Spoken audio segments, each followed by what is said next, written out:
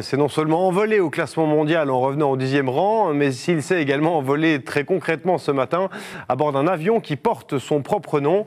Roland Guay et Jeanne Dubuis ont fait le premier voyage à bord euh, du Stan en compagnie du tennisman vaudois.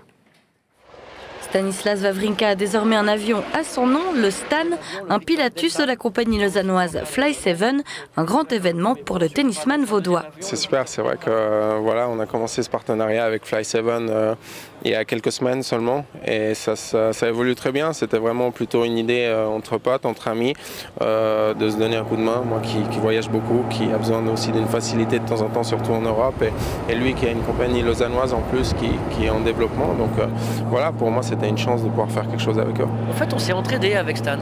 Euh, lui, il n'était pas numéro 10 à Marrakech. Et, et puis nous, on est une petite société locale. Mais c'est vrai qu'on aimerait promouvoir un peu l'école et le courtage en vol, plus les PC-12. Alors c'est surtout, oui, de faire connaître le principe le système qui veut qu'on peut louer un avion à la demande. C'est quel public qui est visé euh, avec ce genre d'opération Alors essentiellement, on dira une aviation d'affaires. Alors bon, après le, terme affaires peut s'élargir à des, à des sportifs d'élite, à des gens qui doivent se déplacer, disons, rapidement d'un endroit à l'autre euh, et avec euh, les moyens les plus adéquats possibles. On a assez de monde dans la région pour faire vivre suffisamment ce, genre de, compagnie?